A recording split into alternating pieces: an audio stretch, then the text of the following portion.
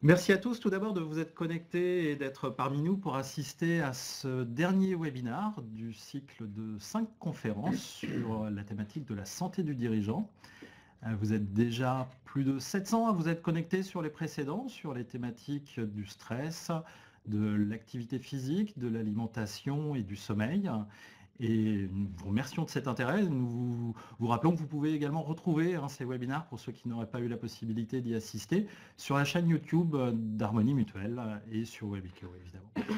Donc aujourd'hui, nous, nous, sommes ensemble pour aborder un sujet qui est trop souvent délaissé, trop souvent mis de côté, à savoir euh, l'échec entrepreneurial et surtout la situation de rebond euh, parallèle à cet échec.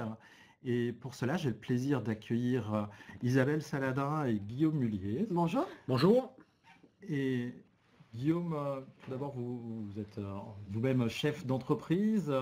Vous êtes aujourd'hui également en parallèle président de 60 000 rebonds. Exact. Vous, pouvez vous présenter rapidement hein? Bien entendu. Donc, Guillaume Mullier, j'ai 58 ans.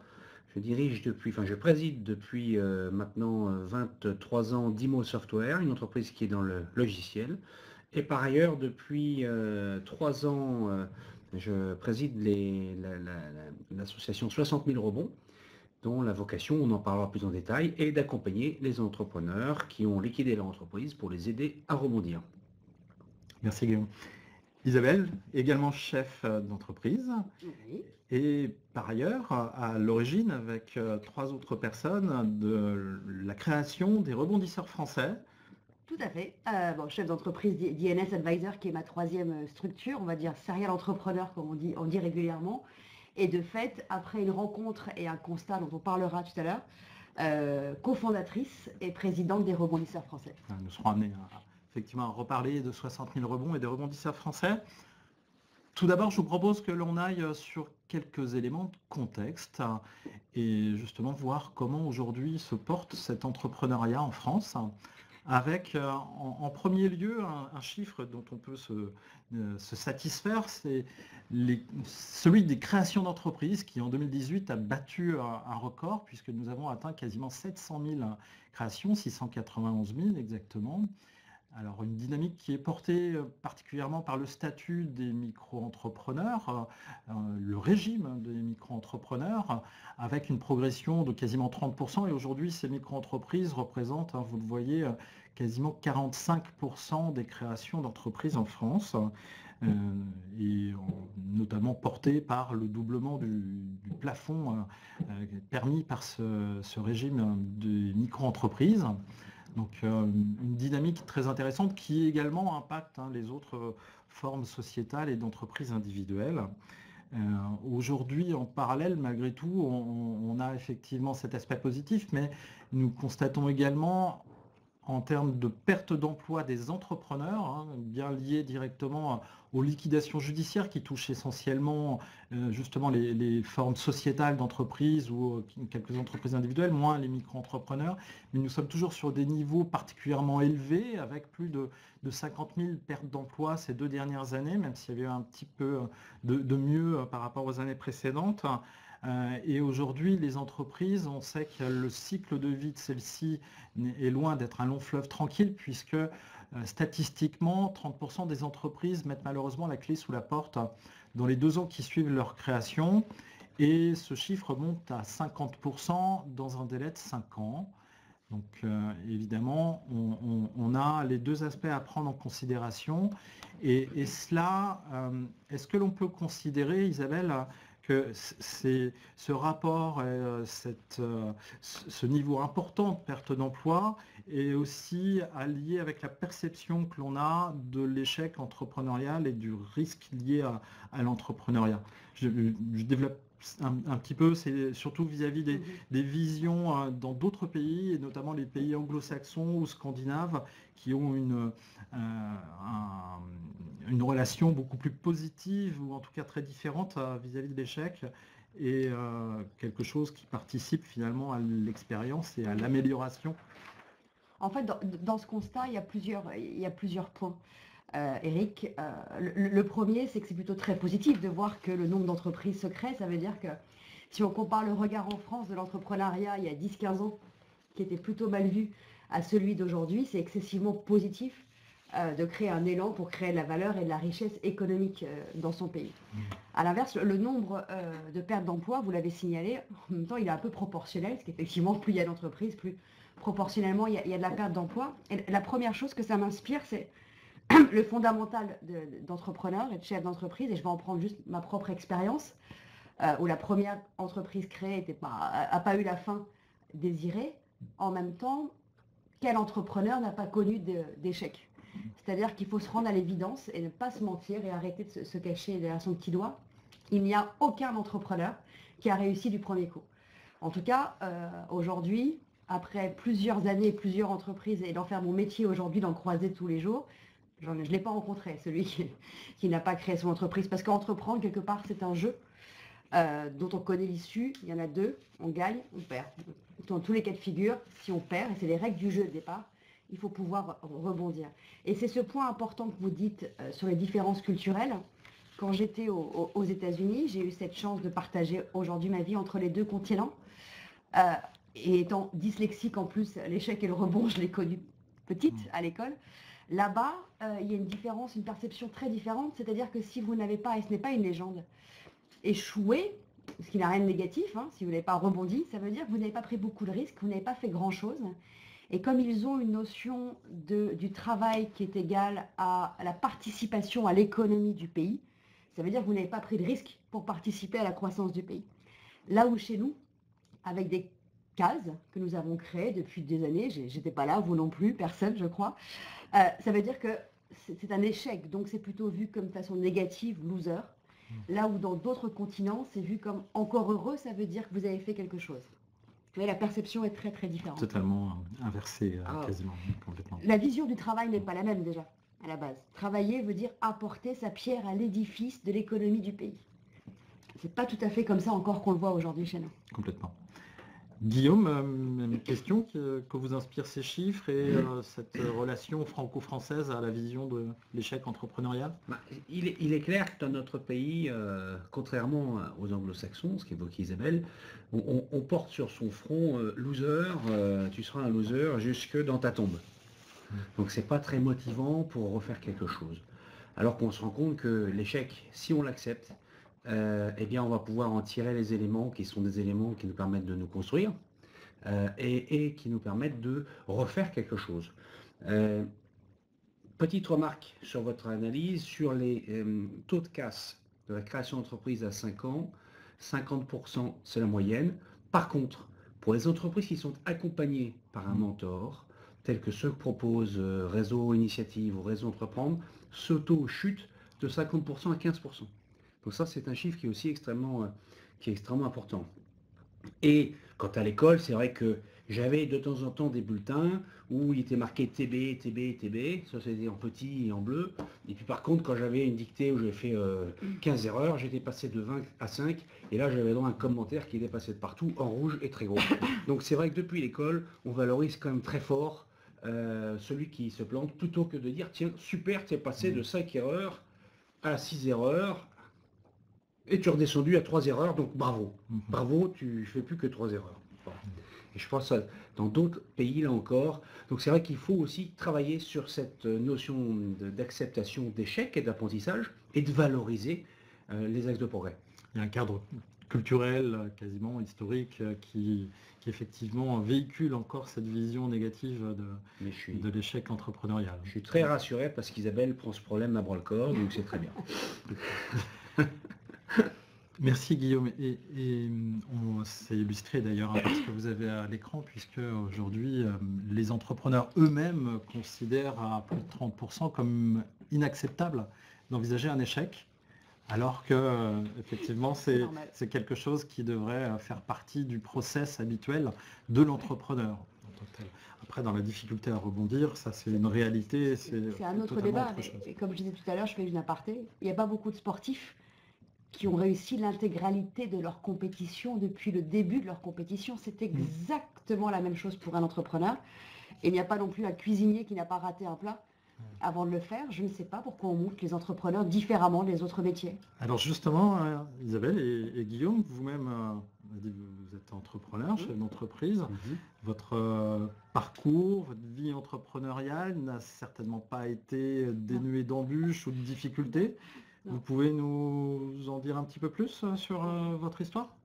Guillaume, souhaitez commencer Alors, je n'ai pas, pas de souci. Moi, j'ai commencé, et je m'en souvenais plus, mais Isabelle m'a posé la colle. Je dis non, non, je ne me suis jamais planté sur le plan professionnel. Et en fait, si. je l'ai oublié parce que je me suis planté très vite. Ça ne m'a coûté que 10 000 francs.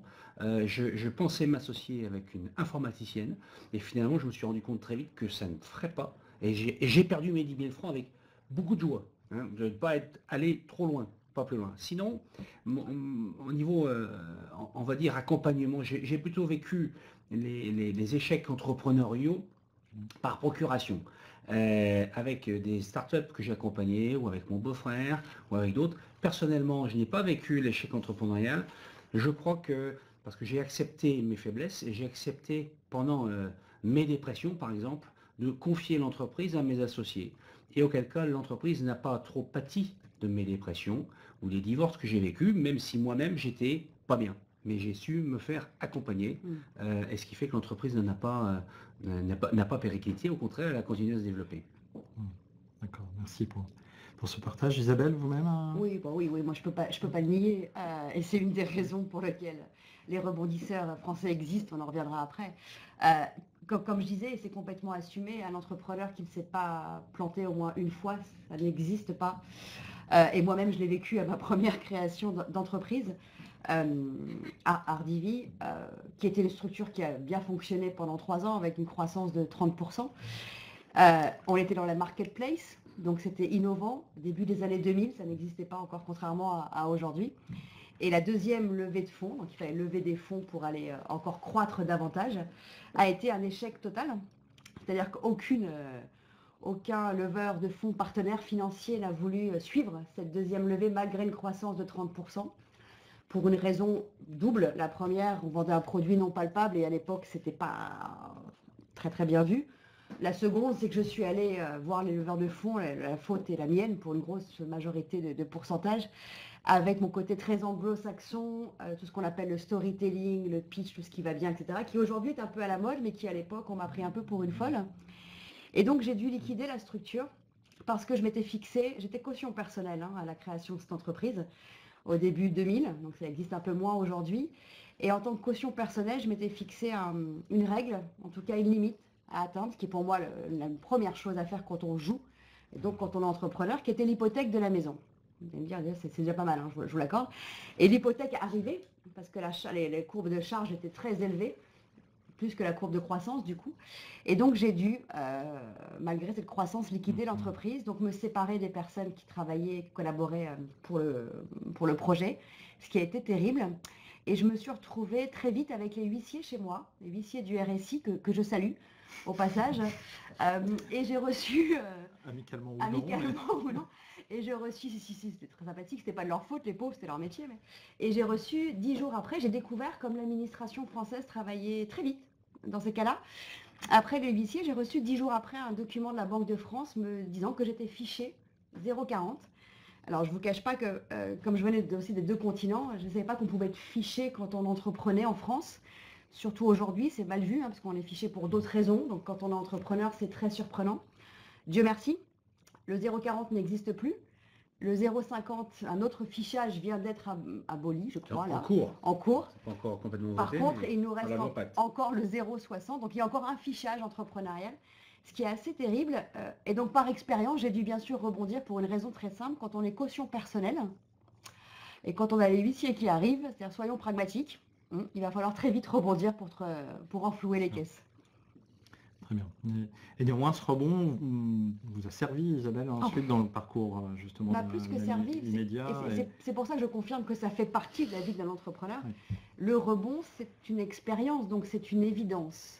Mm. Euh, mais par contre, et, euh, je me permettrai de, dire ce, petit conseil qu'on m'a donné, moi, à la création de ma première entreprise, qui est de dire, tu vas échouer. C'était pas du tout sympathique, hein. mm-hmm. mais on dit, si tu penses que ton sang, si tu sens ton sang te glacer à ce moment-là, ne te lance pas dans l'entrepreneuriat. Il faut connaître les règles du jeu. Les règles, elles sont celles-ci. Mais très vite, il faut pouvoir rebondir. Et, concrètement, justement, en situation d'échec, on l'a vu également un peu sur le slide précédent, à quoi est confronté un entrepreneur dans cette situation, Guillaume Alors, le, souci justement du refus de l'échec, c'est que souvent on va trop loin. Mmh. Et, on se met dans une situation de déni. Et, lorsqu'on met cette situation de déni, on va, construire une espèce de puzzle ou une espèce de domino euh, qui va, en cas de, faillite, euh, concrétiser une, spirale négative. Alors c'est quoi? Alors on parle souvent des 3D, dépôt de bilan, divorce et dépression. Alors moi je suis plus créatif, je parle des 7D. 7D euh, parce que ça commence par le déni. Et ce qui fait que le dépôt de bilan est associé parfois, souvent, au divorce, dépression ou autre maladie, c'est justement le déni qui fait qu'on va trop loin. On va mentir à soi-même, mentir au conjoint, chercher à mentir au banquier, et que le banquier lui euh, dira ok, tu veux mentir, c'est pas grave, tiens, tu vas mettre une caution personnelle. Donc c'est le quatrième D, c'est la dette personnelle, et aussi avec euh, associé au divorce, le déménagement et bien entendu le risque de décès, mmh euh, qu'il ne faut pas sous-estimer avec une association qui est missionné sur cette fonction-là, de, d'essayer d'éviter ce, décès, de, ce décès qui s'appelle la PESA. Et, donc, 85% euh, des personnes qui poussent la porte en disant voilà j'ai un problème, comme ils y sont allés au, tribunal trop tard, eh bien 85% ressortent, il n'y a plus de problème. C'est-à-dire qu'il n'y a plus d'entreprise. La décision de liquider est arrêtée dans la journée. Alors que si jamais, à contrario, on y va six mois plus tôt, dans des phases dites de mandat ou de conciliation, 70% des entreprises vont être sauvées. Donc vous voyez, le, refus de l'échec mmh. fait qu'on on, s'encroute. Si je suis dépressif, prenez une entreprise de 10 personnes, avec le patron qui est dépressif, qui est principal commercial à la boîte, et eh bien c'est sûr qu'un dépressif ne va plus vendre, c'est clair. Il ne va plus donner envie de vendre. Donc si jamais on traite le problème beaucoup plus tôt, eh bien, on, se, fait remplacer. Et auquel cas, bah, l'entreprise continue à tourner. C'est ce momentum, cette prise de conscience qui est importante, justement, et, qui peut permettre d'éviter de rentrer dans un engrenage. On ne peut pas, comme, dans un, comme si on parle de la mêlée et d'un coach, quand vous êtes dans la mêlée, vous êtes là pour pousser. Il ne faut surtout pas lever la tête pour essayer de comprendre ce qui se passe, sinon vous faites couper la tête. Mmh. Alors que si vous avez un quelqu'un qui est sur le banc de touche, qui est un ancien joueur ou un joueur par ailleurs, mais qui n'est pas dans la mêlée, lui va pouvoir vous tirer, euh, votre tirer votre attention, vous mettez une petite oreillette, il pousse donc un peu plus à gauche, etc. Et d'où l'avantage et le grand avantage d'être accompagné par une personne qui a ce type de compétences et qui ne soit pas directement dans la mêlée. Isabelle, par rapport aux, conséquences auxquelles sont confrontés justement les entrepreneurs, des, éléments aussi euh, complémentaires? ce, que dit euh, Guillaume est totalement juste. Mmh. Euh, et, se faire accompagner, enfin, on parlera après de 60 000 rebonds, c'est crucial. il y a un point important, et là je vais reprendre juste ma propre expérience, en tout cas celle, que je connais pour avoir été dans ce cas-là, c'est le regard des autres. C'est-à-dire que ce qui joue beaucoup, c'est l'ego, en fait. C'est ce qu'on appelle l'orgueil chez l'être humain. Donc j'en ai fait, j'en ai aussi. Hein. Donc j'ai eu ce sujet-là. Il semblerait qu'on soit plus fort chez les garçons que chez les filles. c'est vous qui le dites, je ne pouvais pas le dire. Je suis la seule femme autour de ce micro. Mais, ce qui est vrai, c'est que souvent on se retrouve dans les situations périlleuses par pur orgueil et ego. C'est ça que si on a bien compris que l'échec, euh, ce mot qui en fait d'étymologie est positif, hein, ça veut dire roi en arabe, rappelons-le quand même, n'est pas un drame, mais fait partie de la vie normale, comme un joueur de, foot ou un judoka ou ce qu'on veut, euh, il n'y a plus trop de soucis à se faire. Par contre, le regard, l'orgueil de ne pas vouloir le dire, ça mène en règle générale à des situations très compliquées. Merci. Vous avez euh, la possibilité hein, par le chat de poser quelques questions, euh, donc n'hésitez pas si vous avez justement des interrogations, on y répondra avec plaisir. on a prévu un petit moment pour ça, donc vous pouvez passer vos questions par le chat. En attendant, sinon, on va poursuivre pour le coup justement sur, euh, sur ces situations qui vous ont conduit l'un et l'autre à créer euh, les structures que sont 60 000 rebonds et les rebondisseurs français. Et concrètement, justement, pourquoi finalement avoir, euh, vous être investi dans ces structures, les avoir créées le cas échéant, et euh, concrètement, comment cela se passe pour un entrepreneur euh, Qu'est-ce que vous proposez via ces structures, Guillaume? Alors, moi, j'ai contribué à lancer le réseau Entreprendre. C'est pour ça que j'en parlais avec un peu de connaissance de cause en 92 sur la région Rhône-Alpes. donc on, favorise la création. Mais d'un autre côté, je trouve qu'il est prudent, quand on va faire du trapèze, de se dire qu'en dessous, on a pu mettre un filet de secours.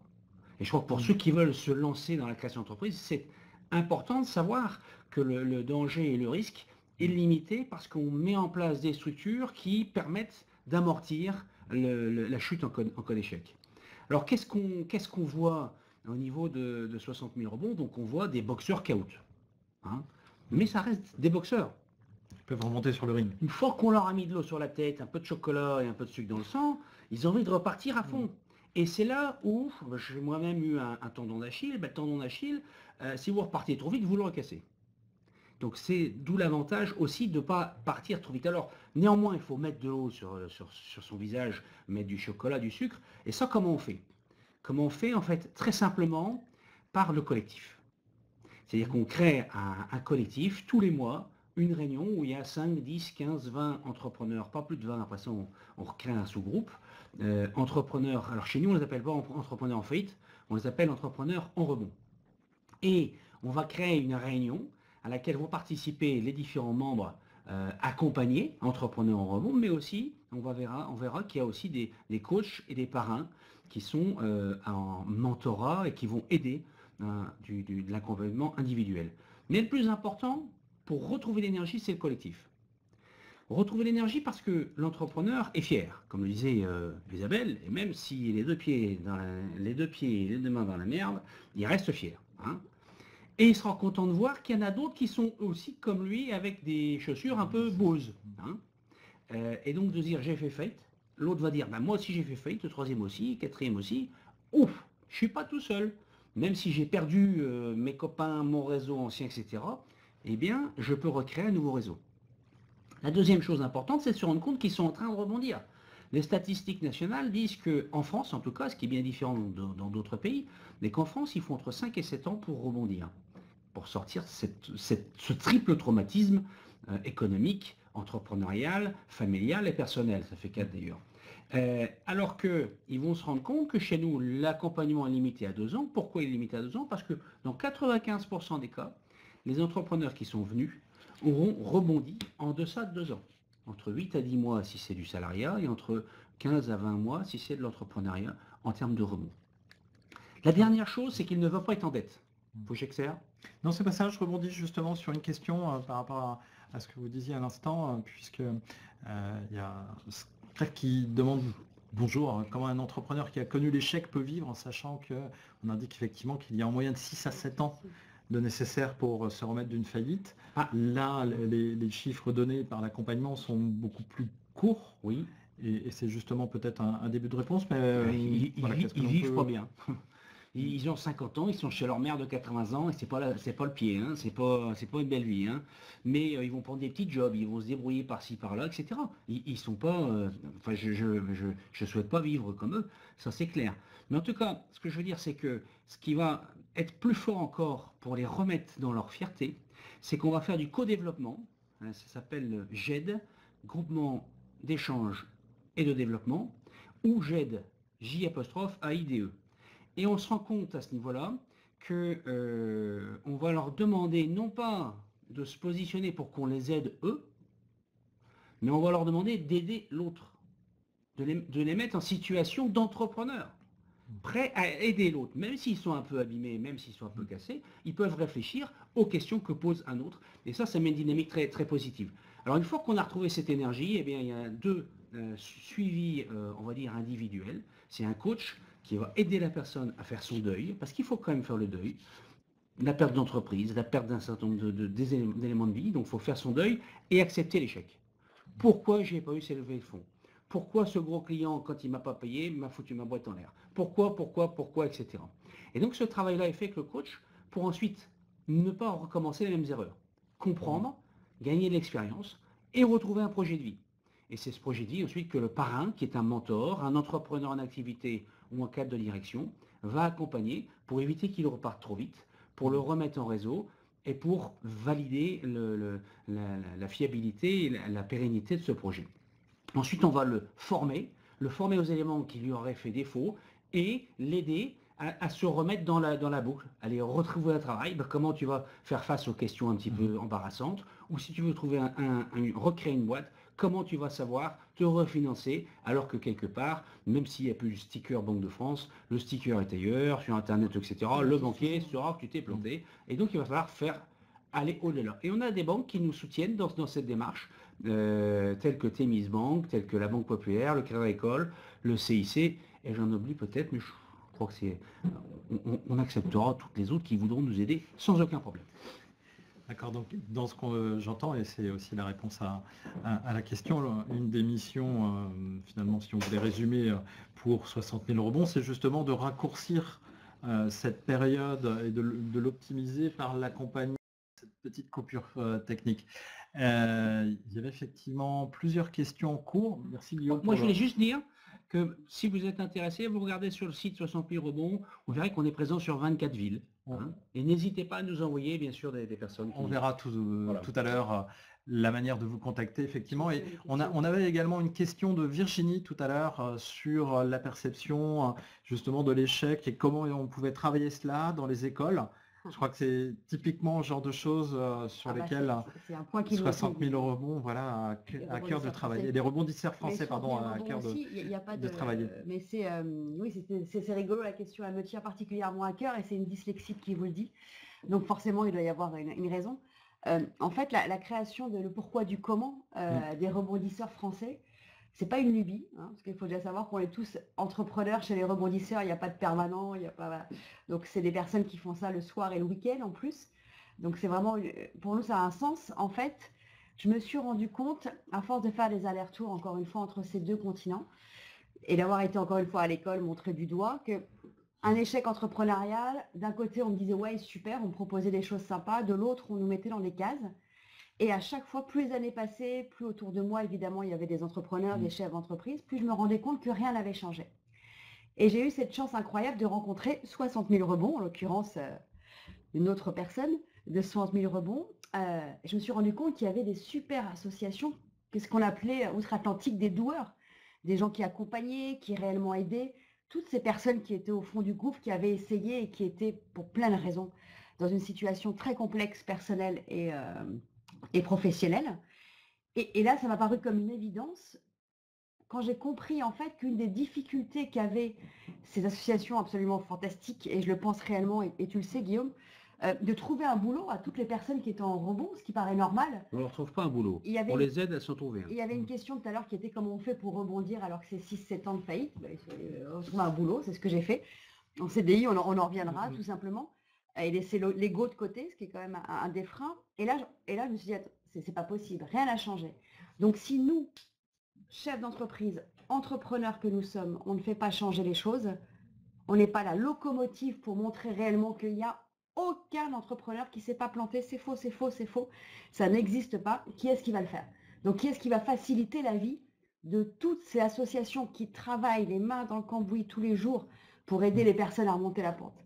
Et j'ai rencontré trois autres cofondateurs, Alexandre, Christian et Claire, je les salue s'ils si, m'écoutent, euh, aussi fous euh, et aussi euh, croyant réellement à cette cause. Et on s'est associés pour créer ce mouvement. On s'est dit, est-ce que c'est un événement, est-ce que c'est est -ce c'est un mouvement? Et on réunit, au début c'était nous quatre, aujourd'hui on est près de 500, on a été créé le 15 mai dernier, donc c'est relativement, on n'a pas encore un an, donc ça va vite. Comme quoi, il y, y avait réellement, on n'était pas les seuls à penser ça. Euh, l'ensemble des entrepreneurs, que ce soit des indépendants, des artisans, des chefs d'entreprise de PME, des start-upers, il y a 15 000 types d'entrepreneuriat différents, qu'importe, qu'on met en avant à travers des témoignages, si vous regardez sur la partie web ou tous les réseaux sociaux, euh, qui assument, qui disent oui, c'est vrai, euh, on s'est déjà planté une fois, on s'est déjà planté deux fois, on a rebondi, qui racontent leur histoire. On intervient dans les écoles, c'est pour ça que je, je souriais à la question. Évidemment, ça me tient à cœur et évidemment, euh, c'est là où tout commence, on est bien d'accord Montrer du doigt l'échec.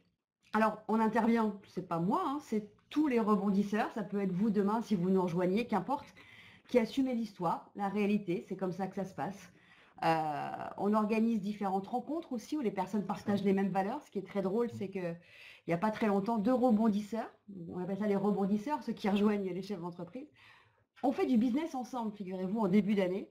Ce qui était absolument pas prévu, ce n'était pas l'objectif, mais ce qui est drôle, c'est de montrer que quand on partage les mêmes valeurs et quand on assume la même chose, bah, du coup, il n'y a plus de filtre, évidemment, on est tous d'accord, allons-y gaiement, mmh.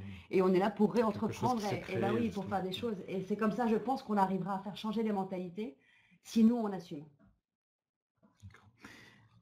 Merci à vous deux. Alors, autre euh, question oui, sur les slides, euh, en train de répondre là, c'est bon. Justement, euh, sur les rebondisseurs français aujourd'hui, encore très jeune, euh, vous le disiez, donc c'est en, cours de développement. On voit à, à l'écran la carte des implantations avec ces quelques kangourous qui sont amenés à se développer également ensuite.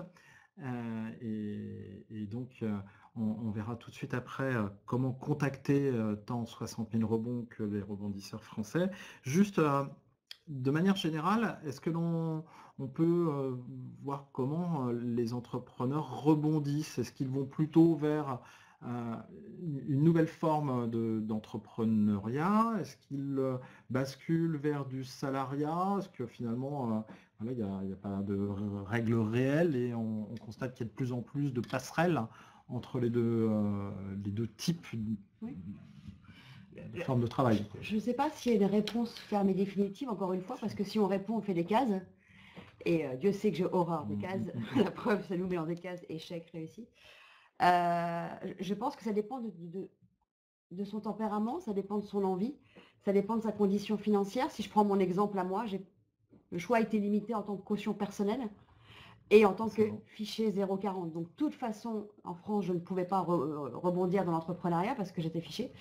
Donc il fallait absolument, par contre, caution personnelle que je rebondisse. Donc le salariat a paru euh, évident.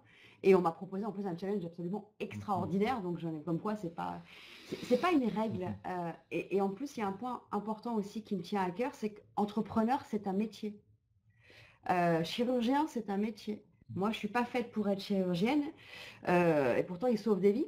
Et quand je dis qu'entrepreneur c'est un métier, c'est pas une fin en soi d'être absolument entrepreneur, même si je sais qu'il y a une mode et tant mieux pour la libéralisation, mais c'est un métier qui, si on n'est pas prêt à jouer, si on n'est pas prêt à perdre, je dis pas que c'est bien ou c'est pas bien, j'ai pas de jugement, vaut mieux pas se relancer dans l'entrepreneuriat. Moi qui n'ai aucune dextérité, je ne serai pas chirurgienne, je vous le promets. Mmh. Et pourtant, j'ai beaucoup d'admiration pour ce métier. Ça n'empêche pas, évidemment. Moi, je dirais par rapport aux, entrepreneurs qui rebondissent, aux, aux EAR, les entrepreneurs ayant rebondi, euh, on se rend compte c'est à peu près moitié-moitié. On ne les pousse pas dans un sens ou dans l'autre. C'est eux qui doivent faire leur choix. Hein. Entreprendre, ça ne se fait pas à moitié. Si on se fait à moitié, on va se répéter la gueule. Donc il faut vraiment y aller. Il faut pas aucun état d'âme. Donc c'est à peu près 50-50. Euh, alors certains vont démarrer comme entrepreneurs comme business développeur, donc relativement autonome quand même. Mais euh, certains disent, bon, moi, je ne peux pas revivre euh, là tout de suite ce que j'ai vécu, il faut que je me refasse une santé financière. Ou d'autres vont dire, bon, finalement, je me rends compte que je ne suis pas fait pour être entrepreneur. C'est peut-être pour ça que je me suis cassé la gueule d'ailleurs. Mmh. Donc, grosso modo, on va dire que à la sortie de 60 000 rebonds, c'est à peu près 50-50. Et ensuite, sur euh, ceux qui sont repartis en salariat, sûrement un tiers qui, plus tard, deux ou trois ans, plus tard, vont se remettre à l'entrepreneuriat. Mm, mm, mm. Donc peut-être deux tiers à, terme, sur un terme de 5 ans, peut-être deux tiers qui seront euh, entrepreneurs et, un tiers salarié, en, salariat. Ce qui est important pour recréer cette solidarité qu'évoque Isabelle, c'est qu'on crée un club des entreprises du rebond, c'est des entreprises qui ne sont pas des entrepreneurs qui s'engagent, mais qui engagent bien leur entreprise pour aider avoir des jobs alimentaires, parce que quand on est juste au RSA, c'est pas facile de vivre avec 300, je sais plus combien, 350 ou 400 euros, ça c'est pas, pas grand chose, euh, et ou euh, bah, de, favoriser, de, faire des tests aux, ressources humaines euh, ou des tests pour les aider à, retrouver du financement. Et, donc c'est important d'avoir cette communauté d'entreprises qui s'engagent. D'accord. Petite réflexion, effectivement, ça a été évoqué à demi-mot, mais sur le, ce fameux fichier Banque de France qui, heureusement, a oui. disparu. Oui, mais je, suis d'accord avec le encore des traces. C'est ça. Alors, euh, je suis entièrement d'accord avec euh, Laurent. Je suis en train de lire votre commentaire. Le fichage des entrepreneurs euh, n'est plus actif, sauf le 060, je précise. Celui-ci n'a pas été retiré, n'est pas prévu d'être retiré dans la loi Pacte encore. Mais on ne va pas parler technique, qu'importe. En revanche, vous dites les banques gardent malheureusement des traces de ce type d'avatar. Oui. Oui. Et ça continue Oui. sur cette partie-là. Oui, alors euh, officiellement, non. Dans le vrai, et, et j'en j'en veux pour preuve un, un dossier de rachat de crédit d'une personne il n'y a pas très longtemps. je, je le suivais de, de loin. Et en fait, qui lui a été refusé parce qu'on lui a ressorti la liquidation de son entreprise d'il y a 12 ans. Alors, moi, moi je Donc, voudrais je, qu'on- veux- je ne peux que le confirmer. Mais je pense, excuse-moi Guillaume, que quand même on va dans le bon sens, qu'il faut être positif, qu'on part de loin. Euh, Je vous rappelle que moi j'étais fiché 0,40 et qu'aujourd'hui ça n'existe plus. Donc je ne suis pas si euh, vieille. Donc comme quoi les choses vont vite, d'une façon très positive. Dans le bon sens. ouais. Aujourd'hui, c'est un fait, ce que vous dites, Laurent. Effectivement, on peut encore retrouver. Par contre, si je compare d'il y a 15 ans, on a fait euh, une, une progression incroyable. Plus de 0,40, plus de 0,50, une libéralisation de l'entrepreneuriat. On a quand même fait beaucoup de progrès, même si, évidemment, tout n'est pas parfait et qu'il reste des choses à faire. Moi, pour compléter, en- rapidement, en 90, c'était impossible si vous étiez une start-up de trouver un financement bancaire. Les réseaux entreprendre, réseaux initiatives ont prouvé que le taux de casse était tombé à 15%, et donc les banques ne prennent moins de risques et peuvent financer. Moi, je fais le pari que dans 5 ans, euh, on, pourra faire le pari que des entrepreneurs qui ont rebondi, comme chez les anglo-saxons, se cassent moins la gueule que les autres, et auquel cas, on aura de moins en moins de problèmes, surtout si on a liquidé son entreprise et qu'on a été accompagné par exemple par 60 000 rebonds ou Second Souffle ou d'autres associations. Merci. Et, donc aujourd'hui, euh, que ce soit soi- euh, 60 000 rebonds, les rebondisseurs français euh, et Harmonie Mutuelle, nous avons choisi de faire un, un bout de chemin ensemble puisque nous partageons un, un certain nombre de, euh, de valeurs et euh, de, de visions justement sur euh, cet entrepreneuriat et les situations d'échec. Côté Harmonie Mutuelle, c'est vrai qu'au-delà de, de, protéger les chefs d'entreprise, que ce soit sur nos métiers cœur de prévention, de santé et de prévoyance, nous avons aussi la volonté de pouvoir les, accompagner, finalement de faciliter ce, quotidien des entrepreneurs euh, et de les sécuriser aussi, et un véritable partenaire de cette énergie entrepreneuriale qu'on évoque souvent et qui est euh, réellement précieuse. De, votre côté, euh, Isabelle, peut-être d'abord, euh, pour les rebondisseurs français, pourquoi cette association justement avec Harmonie Mutuelle? Pour, pour, pour plein de raisons. Euh, la première, euh, et non pas, euh, j'imagine que derrière votre écran, vous dites financier, évidemment. On va pas se mentir, mais c'est pas la première raison, parce que d'autres nous avaient fait également la proposition. Il y a un partage de valeurs communes, qui est un valeur- une valeur de proximité. Mm. Et pour nous, c'est très important, surtout qu'on est tout nouveau, on est petit, il n'y a pas de permanent ni rien, donc on, on a besoin de relais euh, sur le terrain, mais forcément des relais qui partagent nos convictions de vécu. Euh, on sait de quoi on parle tous, on l'a tous vécu comme vous. Euh, et c'était important pour nous. Et, et la seule, le seul groupe qui proposait ça avec les mêmes valeurs de proximité et qui offrait aux rebondisseurs français d'être également inclus dans l'association, Mm. c'est Harmonie Mutuelle, c'est vous, grâce au relais euh, de six responsables régionaux qui font aujourd'hui et qui sont les représentants officiels dans ces régions des rebondisseurs français. Et c'est absolument génial de pouvoir être près des entrepreneurs, donc des seules euh, populations qu'on connaît vraiment nous, d'entreprendre, de pouvoir échanger, de pouvoir euh, apparaître dans les, dans les écoles. Les premières qu'on va d'ailleurs visiter ne sont pas du tout à Paris, hein, sont en dehors de, de Paris, donc c'est absolument génial, euh, qui seront en Rhône-Alpes d'ailleurs et en Haute-Savoie, et de faire des meetings où tout le monde peut se rencontrer, partager des valeurs, partager des expériences euh, et pouvoir après par la suite oui, faire du Mm. business s'ils en ont envie. Mais en tout cas, tous ensemble, Mm. assumer la réalité de la vie d'un chef que C'est vraiment d'entreprise. retrouvé dans ces, discours communs. Même question, euh, Guillaume, pour 60 000 rebonds. Eh bien, Harmonie euh, est une entreprise importante, présente sur toute la France, 60 000 clients. Sur 60 000 clients, statistiquement, euh, entreprises, 60 000 entreprises, statistiquement, euh, 2% euh, malheureusement vont liquider cette année. Euh, donc, euh, ça fait autant de clients potentiels pour 60 000 rebonds.